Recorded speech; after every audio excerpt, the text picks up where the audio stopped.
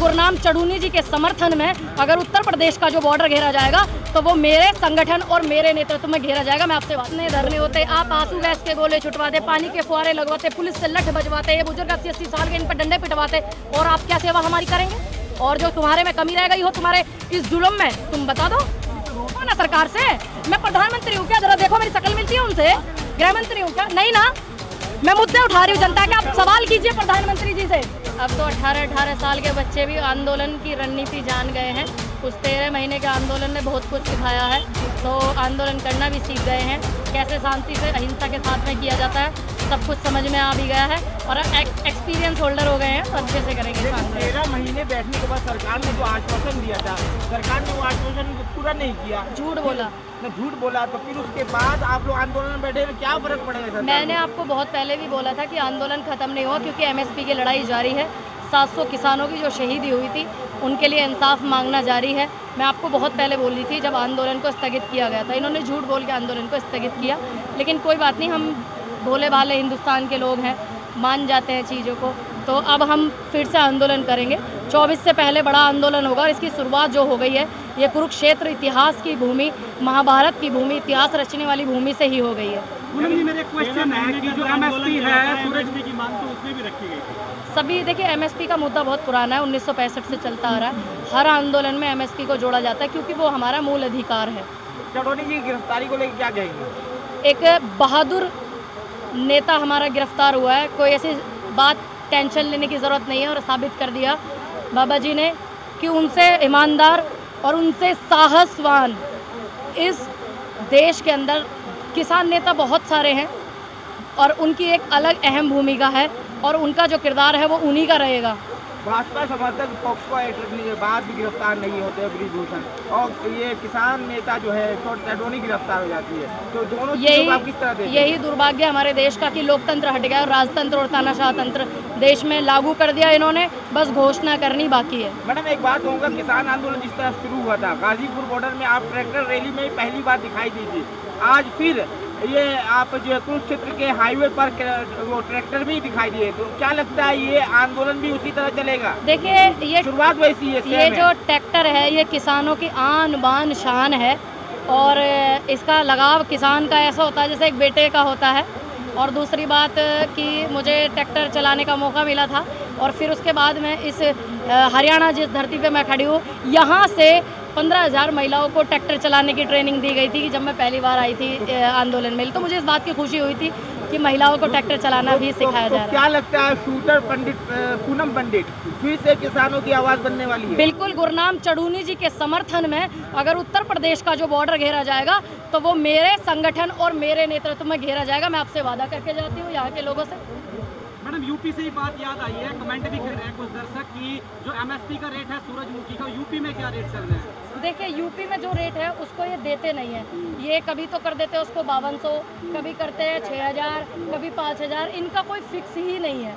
समझ रहे हैं आप मेरी बात? दूसरी बात ये कहते हैं एमएसपी थी है रहेगी।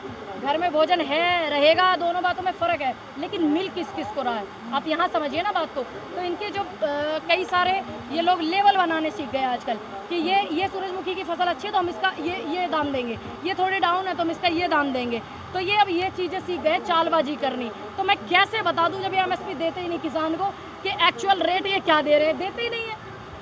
और दूसरा जो- एक मिनट दूसरा- हरियाणा के शिक्षा मंत्री कह रहे हैं गैर कानूनी हा- हाईवे वगैरह नहीं गिरना चाहिए।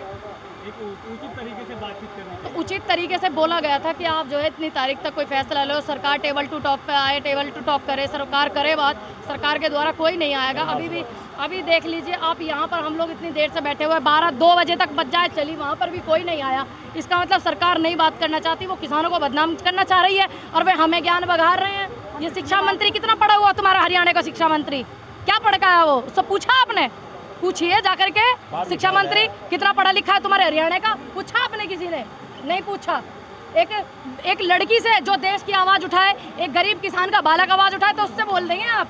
हाँ जी क्या एमएसपी चाहिए आपको? क्या मुद्दे हैं? लेकिन आप शिक्षा मंत्री से इतनी पूछने की हैसियत नहीं रखते कि उसकी शिक्षा क्या है। और दूसरा दर्शक मैडम क्वेश्चन करते हुए आ रहे हैं। जब भी कोई आंदोलन शुरू होता है हरियाणा से होता है यूपी में क्यों नहीं आवाज़ उठाई जाती है देखिए अभी ये गुरनाम चढ़ूनी जी वाला जो मुद्दा हुआ है आप सबसे पहले मेरा पेज चेक करना। मैंने उनके लिए आवाज़ उठाई और फिर हमने 11 तारीख में कल प्रोग्राम भी रखा था और हमारे एक साथियों उनका एक्सीडेंट हो गया। इस वजह से हमें वो स्थगित करना पड़ा। मैंने ये खबर भी यहाँ पहुँचाई थी कि हमने गुरु नाम चढ़ूनी जी के समर्थन में एक पंचायत भी रखी हुई है। तो एक्सीडेंट की वजह से हमको उसको पोस्टपोन करना पड़ा। लेकिन अभी उनकी ना रिहाई हुई है, ना अभी हमें हमें हमारा अधिकार मिला एम नहीं मिली है।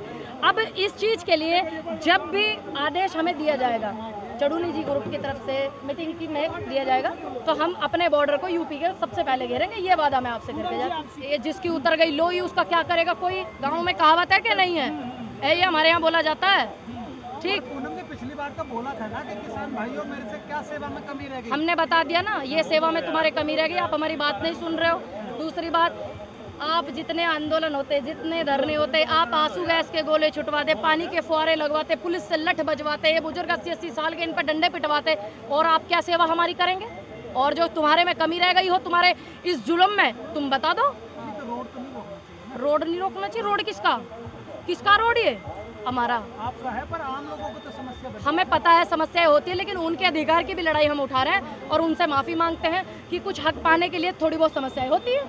जी? बोल रही है कि अब किसानों के जो ये नेता इनके घर तो घेराव नहीं करते हाईवे रोक देते हैं बड़ा आसान। किसान नेता के हाथ में है क्या एमएसपी लागू करनी? किसान नेता के हाथ में है क्या गुरुनाम चढ़ूनी जी को छोड़ना? किसान नेता के हाथ में है बेटियों के बलात्कार होते हैं वो तो आवाज़ ही उठा सकते हैं ना। फैसले जो कानून बनता है, वो तो सरकार बनाएगी ना। नहीं ले रही क्यों नहीं ले रही? आप पूछो ना सरकार से। मैं प्रधानमंत्री हूँ क्या? जरा देखो, मेरी शक्ल मिलती है उनसे। गृह मंत्री हूँ क्या? नहीं ना। मैं मुद्दे उठा रही हूँ, जनता के। आप सवाल कीजिए प्रधानमंत्री जी से, देश के गृह मंत्री से। सवाल कीजिए महिला मंत्रिमंडल से। बिल्कुल उसी से सवाल किया भागने लगी भागने लगी? एक पत्रकार तुम्हारा भास्कर का उसकी नौकरी छुटवा दी? महिला सांसद है, सिमरती जो है सिमरती रानी पुरानी कौन है? हैं? अब आप तो फिर आप समझिए करनाल वाले पत्रकार जेल में वो आकर्षण उपल फिर फिर आप पूछिए ना।